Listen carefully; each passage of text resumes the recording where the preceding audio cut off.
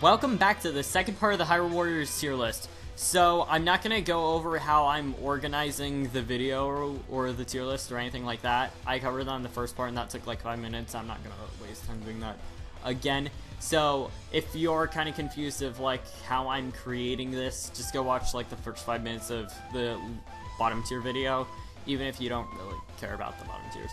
Um, so anyways, low tier. So low tiers are basically the worst characters in the game that don't actually have any like significant problems. So they are still playable. I don't know really how to say this without being like rude. So if you do put enough work into these characters, you can get results with them, good results, but it's just gonna require more work and it's sometimes kind of annoying, and some of these do fail at key aspects of the game, but nothing's too crippling like the bottom tiers. So, also in low tier, since this is basically treated as an everything is equal, all weapons and characters I mention in this video are equal. So it doesn't matter what I say first in this video, it doesn't matter what I say last in this video, everything is treated the same. So no there's no character in this video that's better than another, is what I'm trying to say.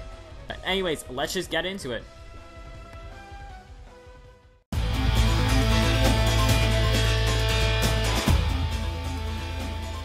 The Magic Rod is a very basic weapon. It does basically everything you're going to want it to do, but nothing extra. So it can rack up KOs, okay. It can deal with giant bosses, okay. It has 1v1 options that are just kind of okay. And it's not really safe, but it does have range, so if you do utilize that range, it can be sort of safe. But there's nothing really extra. That's like the actual limit that you can do. So it can rack up KOs, but it can't rack up very many KOs. I mean, combo 3 is basically its best move, but you're not going to actually get very many KOs with just a single use of that. You're going to have to use it a few times. And the moves in general are kind of slow, so again, utilize your range, but even then, it's still kind of annoying. 1v1, you have very limited options. It's like kind of, you can spam combo 3. Uh, you can try to set up something with combo 2, but then that's about it. So, it's mostly just a weapon that, yeah, you can A-rank stuff with it, and there's no problem with that. It's just you are very, very limited, and you have to play exactly how the weapon was basically designed to play, except for the fact that combo 1 is terrible, and I think that was supposed to be an integral part of the move set, but it's not, because it's a terrible move, whatever. Um, so, yeah, it's just so rigid, and you can't really adjust it to different situations. So you will have to try really hard to actually get results with it. But it's definitely not impossible, and if you can work with it, then that's perfectly fine.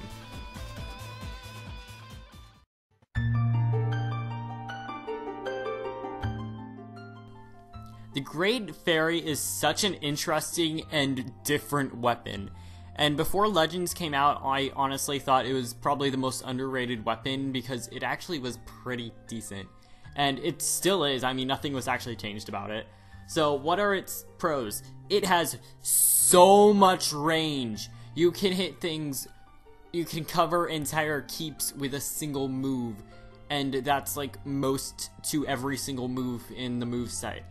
So, yeah, range is fine. Power, the damage on it is sky high, and if you use combo 1, that gets doubled. So you are doing insane amounts of damage, and the weak point smash is just crazy for range and damage. And combo potential, there's absolutely none. This weapon has no combo potential, but that doesn't really matter because you're just spamming attacks anyways. And also, every combo attack is invincible. So, as long as you are performing a combo attack, you're not taking damage, except for combo 1, combo 1 you can get hit in, but that's not an attack, that's just a buff. Um, but that's about where the pros end, and then you kind of realize the weapon just devolves into go up to a group of enemies, spam an attack, hope it hits, if it doesn't hit, try again, and just keep trying again over and over again until it does work. And then you kind of just see this weapon gets very, very basic, and there's not really much you can do. And it's also terrible giant bosses. It cannot deal with any giant bosses to save its life. also, for some reason, even without the combo 1 buff, it takes double damage compared to any other weapon or character in the game. I don't know why they did that. And then also, when so then when you use the combo 1 buff, you're taking 4 times the damage. But with how much invincibility it has, it's actually one of the easiest weapons to do no damage runs in the game. But if you're also just doing a normal run through the game, you probably won't get hit a lot if you have hasty. If you don't have hasty, but this is a tier list with hasty. So yeah, just ignore that. But yeah, it's kind of just like bashing your head against a wall until something happens. That's not really the ideal way to play, but yeah, it can work.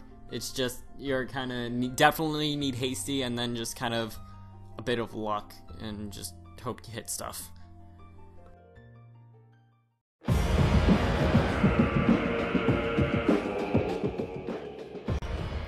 So the rapier or rapier, rapier, okay, it's rapier, whatever. The rapier is actually really good at racking up KOs. It can do well against giant bosses. It is kind of safe. It does have combos for 1v1 situations and can also just handle 1v1 situations generally well. But it's in low tier because all of that is a huge sometimes, depending on light orbs. Because it's all basically a juggle of, okay, I need light orbs now. Oh wait, now I don't need light orbs. Oh, uh, I need to get my light orbs back. Oh wait, no wait, get them away. I need to get rid of them because I don't need my light orbs right now. It's better if I don't have them. And it's just a huge juggle and overall, it also just doesn't deal much damage in general. And with all of these things, comparing it to like the mid-tier weapons, it's just kind of too much to juggle around, and it doesn't really have that much benefit than comparing it to some of the mid-tier weapons. So why just put it into low tier because it's like, yeah, it has options, it can do well, but at the same time, you're just doing way too much work for not enough payoff and that's just why it's in low tier.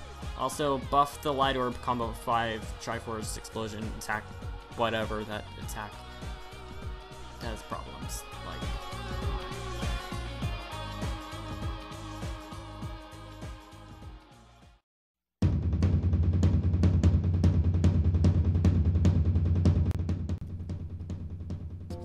baton is a weapon I feel like gets overlooked a lot and that kind of makes sense because it doesn't really have much standing out about it except for its range. Its range is pretty phenomenal and pretty abusive. You can abuse that range quite easily.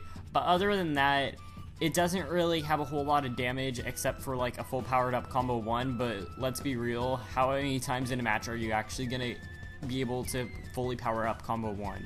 Not very often, and if you do, how often are you going to do it and actually not get hit while doing it? I mean, you can, but it's not something you can just use over and over again, which is kind of a problem. Giant bosses are a pain. 1v1, it's basically you have to space out the enemy because you really just can't get close to anything, but everything does have range, so that's fine. But at the same time, you're not really going to be doing much damage with it. So it's mostly an endurance test of how long can you actually keep the enemy away from you and make it so that you won't get hit because you probably will get hit just because how unsafe this is. There are a few attacks that actually do like stun the enemy like combo 6, but at the same time it's just like uh, you're kind of it's kind of like the rapier and it's just you're basically putting in too much effort for something that doesn't have enough payoff, but even more so than the Rapier in my opinion. Because it's just... Mm, it needs a lot of work.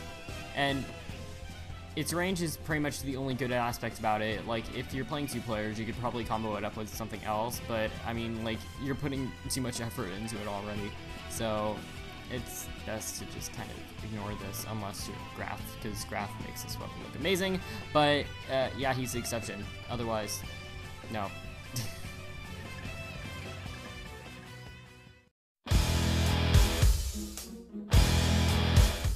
Lana's stick and let's just be real.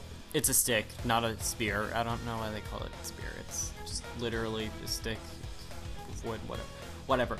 Um, Sylvanas Stick, originally when the game first came out, was one of the worst weapons in the game, probably the worst. As in, if it wasn't buffed, then it would have been below the Giant Blade. It would be the worst thing in the game because that thing was just awful. But it's been buffed a lot since, but still, it's just low tier. So basically, it does have kind of some range and it does kind of have some power, but those range come in really weird, awkward moves. And also that range and power is separated, so it's you either use a move with range or use use a move with power.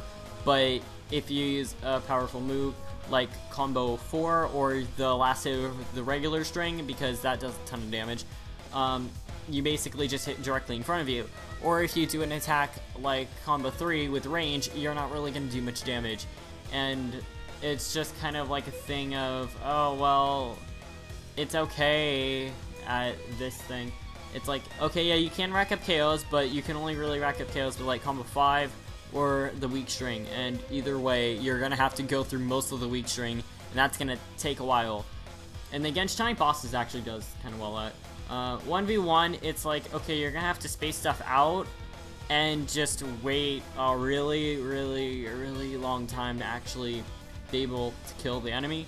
Or you can try to rush in and use like more powerful attacks, but at the same time, you're making yourself very vulnerable and you probably will get hit.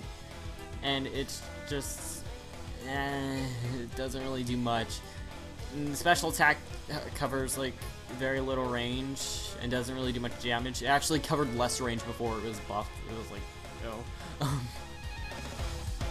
and yeah, it's just not that great. And also, being in the air from combos 2 and 5 is kind of pointless because, I mean, you're stationary most of the time, so that makes you an easy target to hit.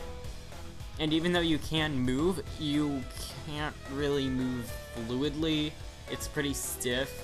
And also, just the aerial attacks from those don't really do much either. So, it's mostly just kind of like a defensive weapon mostly of just keeping things away.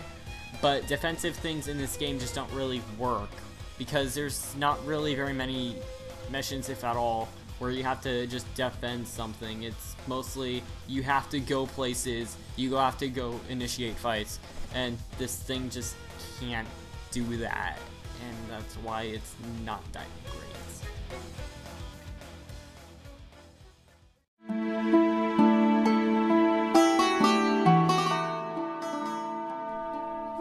Fi is such a controversial character because she's seen as such a terrible character by most people, and the sad part is that most of the negatives they call Fi out on are not even true, but in the end of the day, she's still not that great of a character, sadly. So, first off, she is one of the best characters at racking up KOs. That cannot be denied. She, her attacks have so much range, and she's completely mobile while doing it.